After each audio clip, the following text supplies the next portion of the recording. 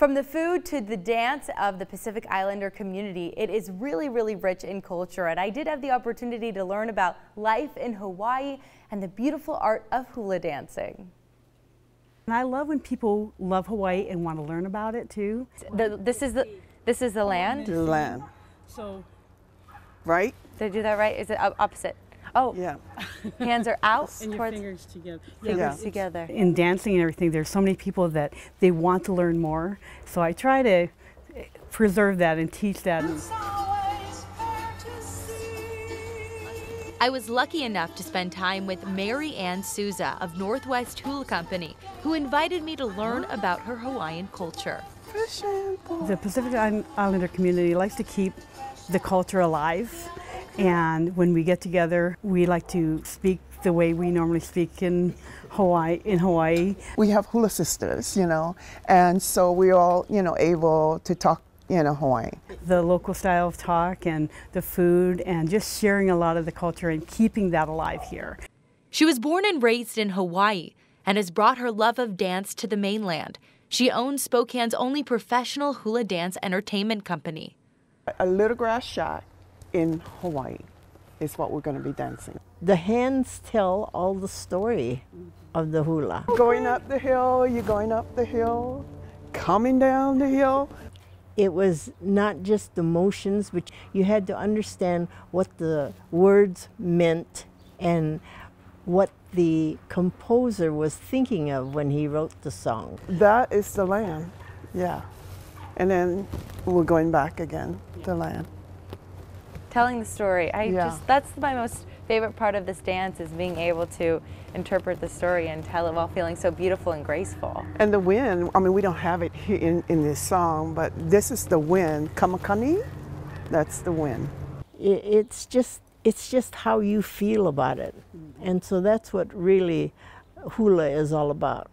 Auntie Bernie says she still loves to dance hula. She's a well loved and respected elder in the Pacific Islander community. She says Hawaii is a melting pot for so many different nationalities. I like to teach people that there's so many multi, it's multicultural there too. We have like what we call pidgin English or broken English, and that's because when you're growing up in Hawaii, different people trying to talk to each other in different language, it became like this, it kind of became its own language in a way. You know, that's why sometimes it gets disrespected. So I think it's important to, for the people understand that we came to gr- together as different cultures and we learned to work together and talk together. instead of saying A E I O U, Yeah. we say A E I O U. Yes. That's how you pronounce it. So if you listen to some of us Yes. talk, Yeah. that's how, what we're we're using those vowels because all our lives Yeah, we're used to, to it. And with all those cultures coming together came different culinary opportunities. Food is the way we connect to the rest of the world because food is everything. It's a fusion. We started fusion before it was even a thing. Yeah. Yeah. And um, that's what we bring to Spokane. Yeah. Yeah, is is that kind of uh, connection where not just our hula, our hula speaks because of our language. Right. Yeah, but the food, who doesn't like food? We, we're going to start here. Um, this is um, jasmine rice.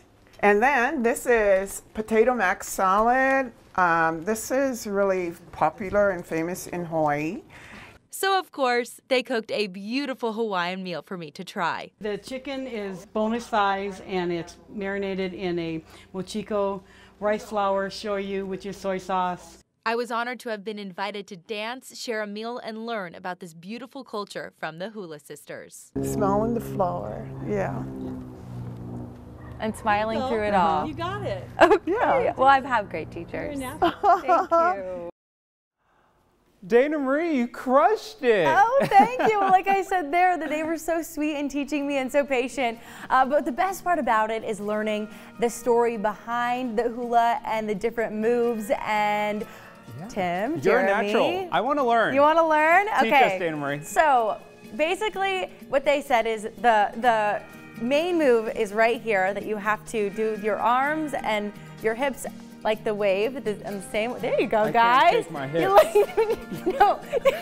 Wait, so do I go the same way my arms are pointing? Yes, exactly. That's what And they said. So Marianne with Northwest Hula Company, she's giving me the moves to, re- I can't to relay them to you. Okay, so now what we're gonna do? This is the land. This means land. Very good. Wow. Do I keep the hips going? Yes, Yeah, of okay. course. And then you switch arms. Okay, perfect. And then little grass hut is like this. That's what the song was that we did in the package. And then we have uh, the mountains like this, Oh, I like going up the mountains. That's what Damn, they Marie, said. you're natural. And then we have the wave, of course. Ooh, ooh, I like the wave. So do you go to the side when you do I the got too much hip. Yep. Okay. Not enough hip, Tim. And then we'll smell the flower as we toss the break. All right. Pick the flower, Pick the flower, and smell, smell. the flower and just hmm. smile through it all if you don't know what you're doing. That's what they say.